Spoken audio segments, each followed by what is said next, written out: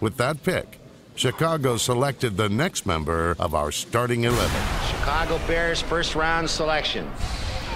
Dan Hampton, defensive tackle, Arkansas. We got Hamp, uh, you know, you knew he was going to be a great one. He'll be a Hall of Famer. Dan Hampton did not waste any time making his mark on the NFL. He started 16 games in his rookie year and made the Pro Bowl in his second. Dan Hampton, uh, one of the best football players I've ever seen play. Uh, just a big, physical, intimidating presence in the middle of the line who could not be blocked. At six foot five and 264 pounds, Hampton was a versatile player. He made two Pro Bowls as a defensive end and two as a defensive tackle. Nicknamed the Danimal for his aggressive play, Hampton was also known as a leader and a selfless teammate. I think the defensive players were real close to each other. I mean, a lot of my best friends are on the defensive line and the linebackers, and we spend a lot of time together, and we uh, more or less have a real team concept here, and I think that's important. Hampton knew John Wayne. When Hampton shows up, uh, something great's going to happen. When you go into war with Hamp, that's, that's great because if he can walk, he's going to play. He'll make great plays. Dieter Brock under pressure. He was really, to me, the key to the 46 defense because he created the havoc in the middle of the field that allowed others to make the plays. He was the guy who absorbed all the double teams and who, who I think really most offensive coaches game plan for. Hampton had nine sacks or more in a season five times, and he was named to the All NFL team of the 1980s. I think Dan Hampton, although he hurt, hurt his knees, he was unblockable and really tough as a tackle.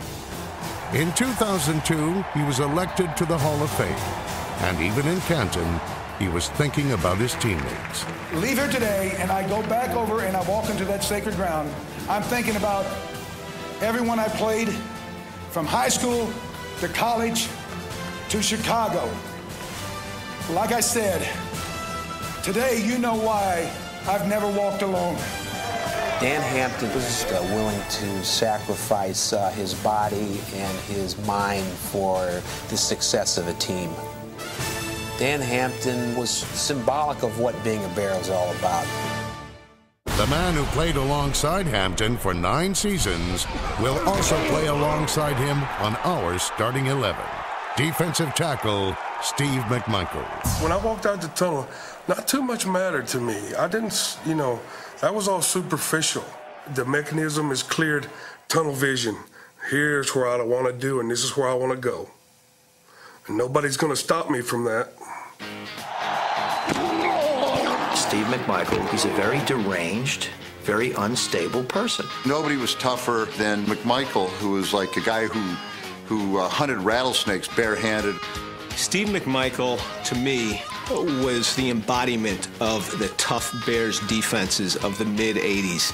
Uh, he was the most consistent, most durable, uh, most try hard guy you'd ever find in your life. Despite being selected in the third round, McMichael didn't even last a half a season in New England. Got him from uh, New England Patriots. Uh, they, uh, we wanted to make a center out of him, but uh, when I saw his uh, personality, I knew that he'd be a great defensive player. McMichael would be great, making two Pro Bowls, recording 92 and a half sacks, and being the all-time Bears leader in games played. But he still went unnoticed at times because he played alongside other greats. That's often the case in a lot of teams. You have one good player, there's usually two. If you look closely enough, one might be more famous, but the reason he's famous and the reason he's good is he's got a sidekick. Our defense was me and Hampton in the middle and Richard Dent in the end. All the other defenses had two great ends and one defensive tackle, not two. Walker the long back inside the 15. Wilson back to the throws the right side. The ball tipped in the air, intercepted. The man who kicked it was Steve McMichael. Steve McMichael was, in a lot of ways, I think, the heart of the defense. So obviously, he was he was a big part of everything the Bears accomplished in the 80s. Playing with arguably the two best tackles in Bears history did help improve the game of William Perry. Perry still will always be known for his touchdown runs, even though he had just five carries in 1985 and just eight carries in his career. That's not what I remember William Perry for. Uh, he did such a great job of clogging things up that allowed everybody else to go more. He took up a man and a half space, not just by being there, but he was quick in a five yard area. Although he gained a lot of notoriety during his rookie season, Fridge proved he wasn't a flash in the pan, becoming a solid defensive tackle for eight more years. Richard Dent. In 1983, Bill Tobin was the director of scouting. Tobin loved Richard Dent. He played at a small school. Nobody knew about him. They didn't know his potential. Richard Dent was, uh, that was like a diamond in the rough. Of course, when we got him, he was 235 pounds. Very undersized. No one thought much of him. He was an eighth round draft pick. And uh, the problem had been up to that point is that he had poor dental work. That's why he was so undersized. And once he, he when he got to the Bears, he got his teeth fixed. And he, uh, he, he instantly put on weight and became this monster football player. Fast and aggressive, Richard Dent blossomed from the 203rd pick in the draft into the best pass rusher the Bears ever had. Dent reached double digit numbers in sacks eight times, and his 124 and a half sacks put him atop the Bears' career list. Richard Dent was a guy who his speed coming around the end was really kind of rivaled only by somebody like Lawrence Taylor. I mean, he was quicker than a cat. I mean, he, he could come off that ball. He was unbelievable. I mean, I mean, a tackle had to be really on his toes to get his hands on him. In 1985, Dent had one of the best seasons ever for a defensive player.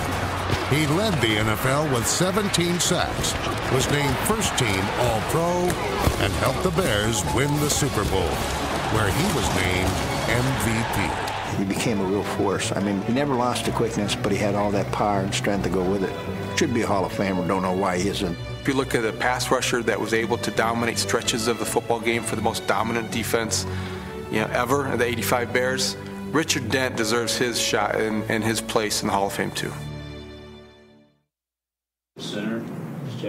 Richard Dent was a key member of one of the greatest defensive schemes in NFL history. Buddy Ryan's 46 defense. Uh, 46 defense be a defense that was created because all the linebackers were hurt. And as it evolved, it is all about pressure. You stop a passing game, uh, you can't stop it unless you put pressure on. Now, some people are good enough to put it on with a three-man rush. Well, we're not. In fact, I don't know what we're good enough to put it on with a four-man rush. If we have to send eight, we'll send eight. We're not going to let you sit back there and pick us apart. We're going to put 11 guys on the field, and we're going to come at you from all different directions. And we're not going to stop. And we're going to hit your quarterback until you get another one in. But we're going to keep coming, and we're going to keep you guessing, and we're going to keep you thinking. We had, at every position, aggressive players, and they were smart. They were experienced. Buddy used to always say, young rhymes with dumb. We do have intelligent players, and we do ask them to use their brain as well as their brawn, and they like it because when they go somewhere else and they tell them just to do it harder, they know there's a more intelligent way to approach the situation, and we try to give them that situation and let them use their intelligence. And, you know, offensive coaches, they like to think they're good. They run people all the field and put them in motion and do all this, and they want you to stand over and let them do what they want to. They don't like it when you don't. the thing that we wanted to do, and the 46 allowed us to do, was um, really audible. When we went out there and the offense was trying to set us up for, for plays or whatever that they really wanted to run, uh, and the, the quarterback would audible, then I would audible and put us back where we were before. In 1985, the Bears boasted one of the best defensive units ever assembled. They led the league in points allowed, holding opponents to 10 or less 11 times in 16 games, and were first in takeaways with 54, or nearly three and a half per game. They were cocky, uh, arrogant. They'd tell you what they're going to do to you, and as long as they did it, uh, you know, I didn't consider that bragging. I never seen the team 15 and 1 talk so much, you know? As dominant as they were in the regular season, they were even better in the playoffs. First, they shut out the Giants. Then the Rams.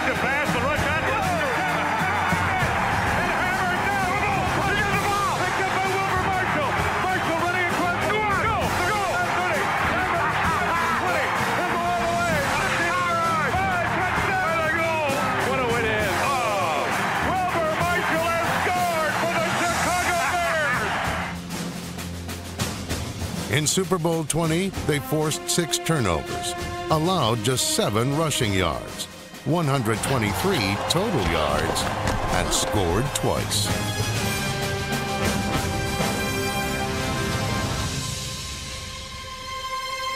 Over the left side goes.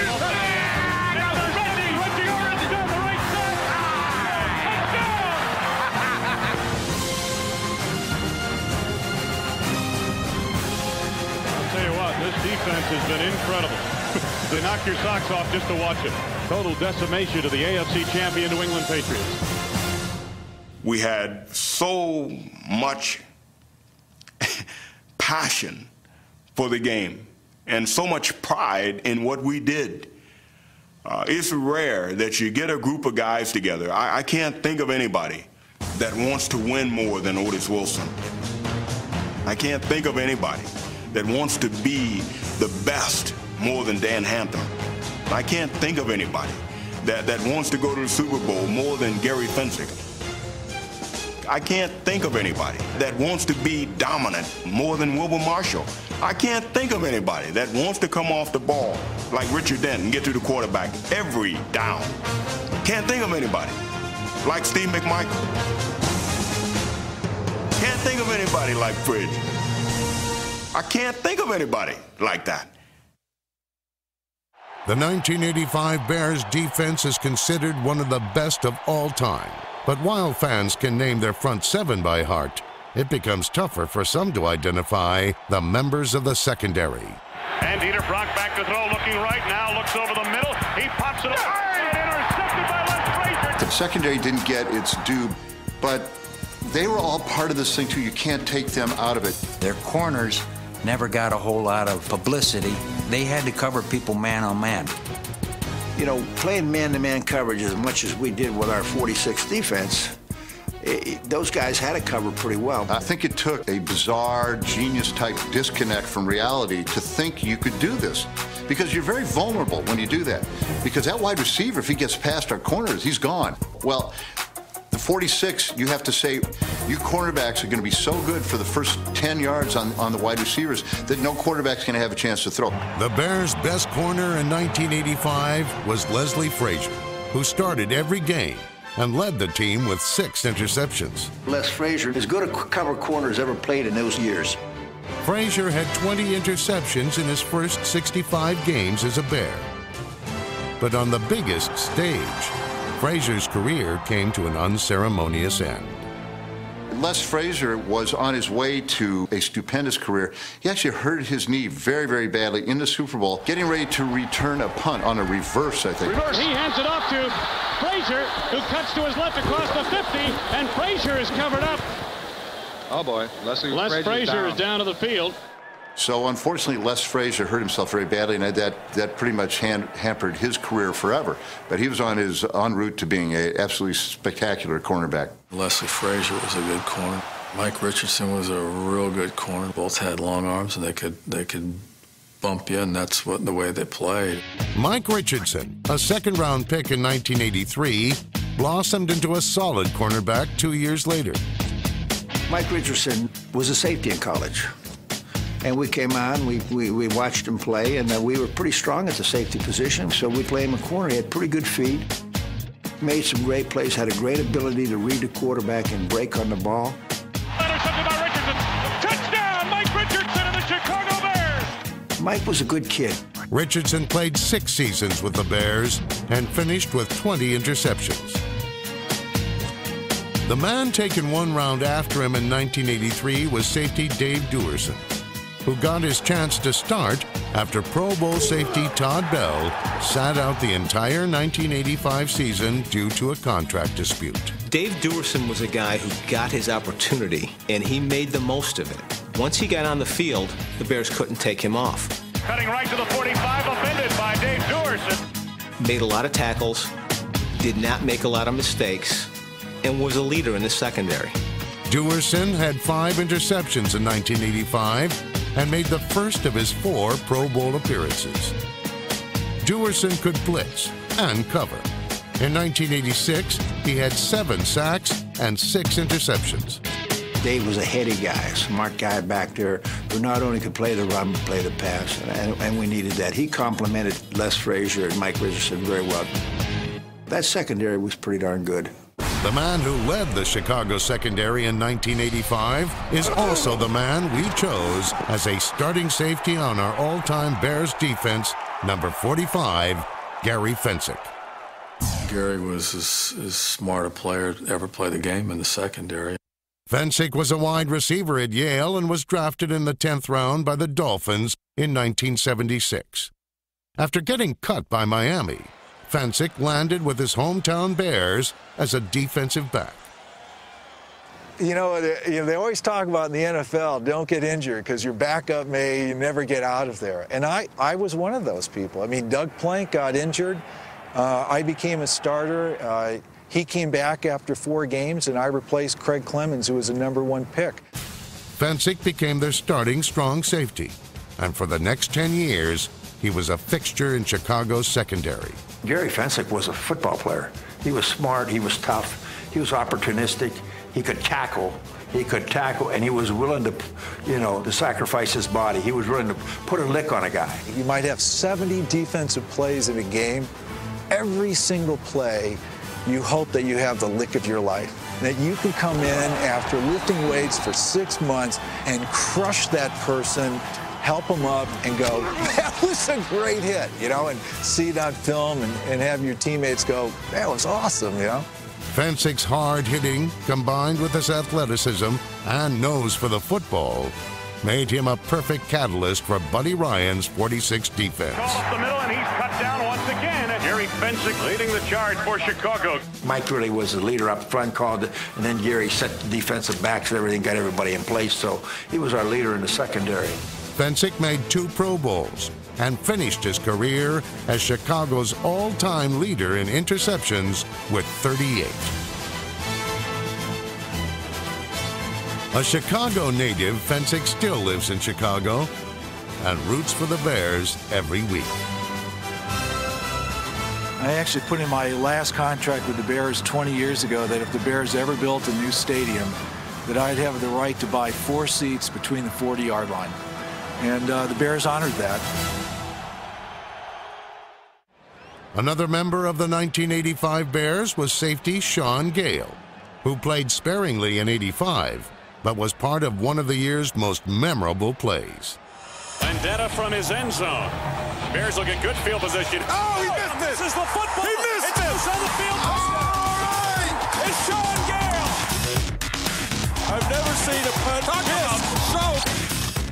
Pretty amazing how the wind just took it. And uh, the next thing I know, Shaun Gayle had it in the end zone. Gayle would not become a full-time starter until 1989. But when he did, he forged out the reputation of being a tough player. Shaun Gayle, even though he didn't look like it was as tough as they got, he played one game. He actually had a, uh, a broken neck, and he he lost feeling in his hands. He kept playing. I mean, absolutely stunning. Yeah, yeah, true story. Gayle, who made the Pro Bowl in 1991, is currently third on the team's all-time tackle list. In 24 years later, another Bears middle linebacker was enshrined in Canton, Mike Singletary. When Singletary first arrived with the Bears, he hardly had the look of an all-time great. He was uh, a heavier player when he first came into the league. He and Jim McMahon were the only two players my their rookie year who didn't finish the uh, mandatory 12-minute run on a timely basis, and Buddy Ryan was all over Singletary uh, about that. Mike changed. He lost weight. He was quicker, faster, and just was a an outstanding middle linebacker. Mike was played to run as good as any middle linebacker ever played it. Hey,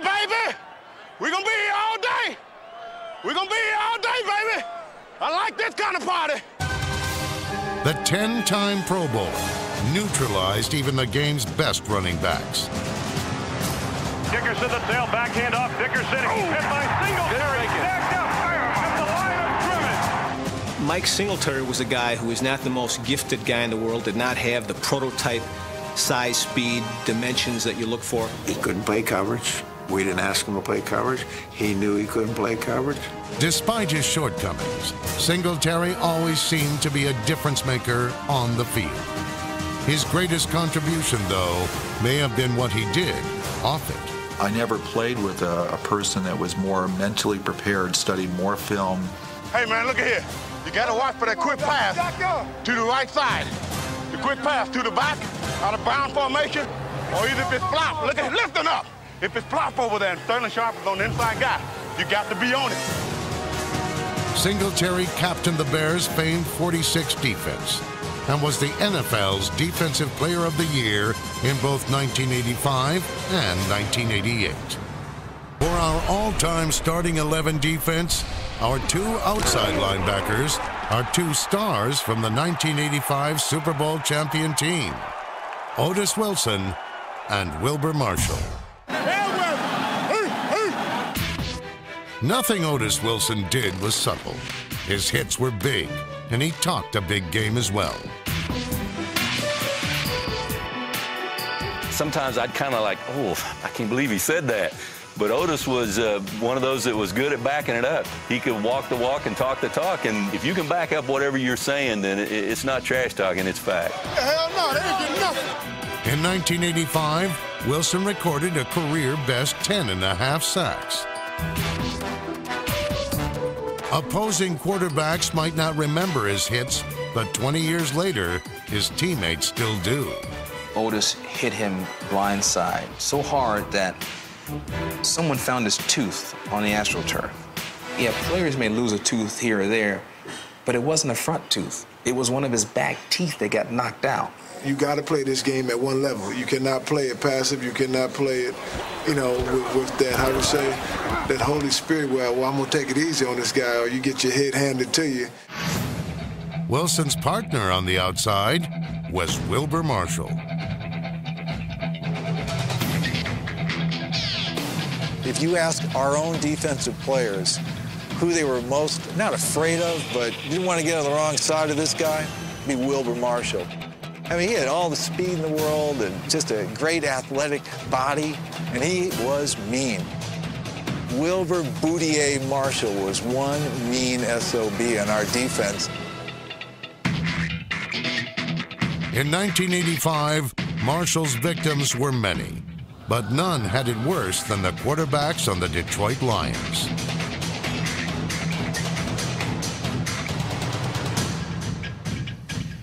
It was just the last game of the season, and we just wanted to play the game, but make a statement, and at the same time get out of it healthy.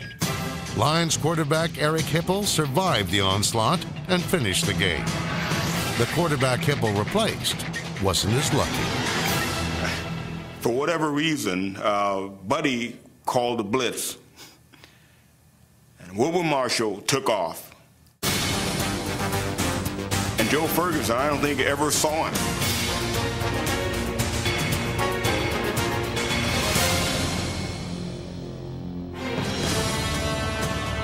Marshall, Marshall was, uh, man, was he. I mean, I mean, I can still see the lick he put on Joe Ferguson out in Detroit. I'd never seen like it. I thought he killed him.